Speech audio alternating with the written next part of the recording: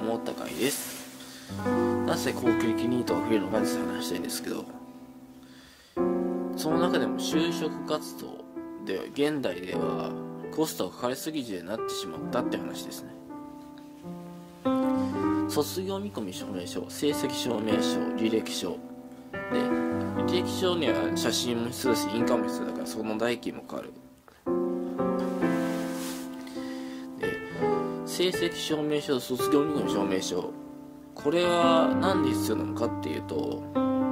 現代では生徒の頭の中っていうのは面接だけでは把握しづらいっていうのがあって学校側の指標なんだけどその指標をもとにじゃあどれぐらい賢いのっていうのを測るツールだよね。でそこでそれを最低限5通か10通分作っとかなきゃいけない。で平均的な価格で言うとおそらく1通100円から200円くらいだと思うんですよ。だから1社ごとに200円から400円かかっちゃう。そういうものを履歴書、5通か10通分書いておいた上でその書類を封筒の中に入れて企業から送る。で書類選考が通った後面接があるわけじゃないですか。で面接行く時にまあ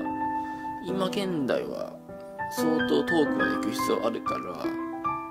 電車代とかで、まあ、交通費かかるよね。電車とかバスが通ってないところはタクシーでかかっちゃうんですよ。だから結構なコストがかかっちゃう時代になっちゃったっていうことです。当然企業もね相当費用をかけて就職活動採用活動やってると思うんだけど学生がもうすごいコストがかかる時代になっちゃったからまあ死に物狂いで自分自身の履歴書を書くよね、まあ、捏造っていうレベルまでいかないけどもしかしたらちょっと高額の人はそれやってるかもしれない。それぐらいやんないと就職できない時代になっちゃったってことなのでそういう意味でもやっぱり親さんの人たち親の人たちにとってはおそらくなんだまだ決まんねえとかって思っちゃうかもしんないんだけど採用人数とかね1人から5人みたいなザラだからその中に100人200人単位で学生が集まるんだから狭き門に挑戦してると思うんだよね。